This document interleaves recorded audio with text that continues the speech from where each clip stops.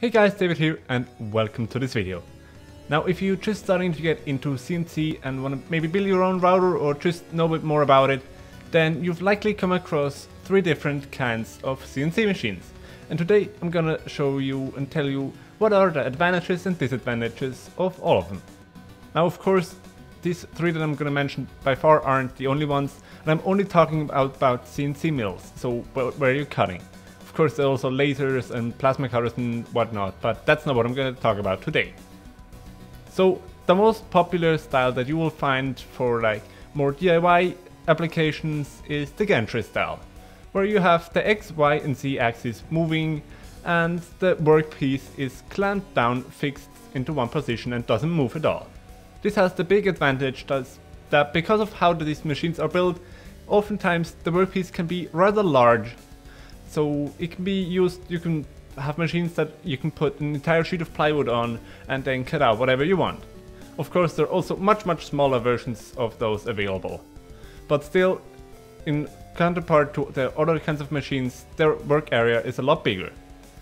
But because the spindle, which is the tool that experiences the most forces, is just mounted on so many axes, it isn't as rigid as it would be on a different kind. So if your goal is to machine hard metals, then maybe a gantry style isn't quite the right choice. But if you're just machining wood, aluminum, plexiglass, stuff like that, then a gantry style is perfect for you. Now, the other style that I've kind of been hinting at are VMCs, or vertical machining centers. They have the workpiece on a table that moves in the X and the Y direction. And the spindle is mounted on a very very sturdy construction arm that only moves up and down, so the Z direction.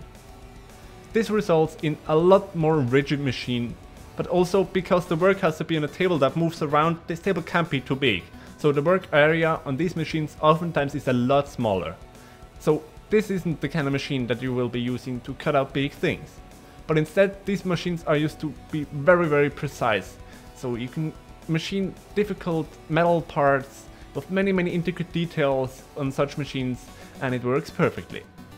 If you think of like an iPhone and how it is cut out of a block of aluminum, that's the kind of machine you would use for that. As there you need high, very high precision and you don't really care about a huge work area as an iPhone is rather small. These machines are a lot more expensive as well. The cheapest ones start out at around $10,000, whereas you can get a gantry style CNC machine for just a couple hundred dollars. And then the last category is kind of a cheating category. It's when you take an old manual mill and then convert it to CNC. Many old, for example, Bridgeport machines can ha be had for like a decent price and they are really really good machines.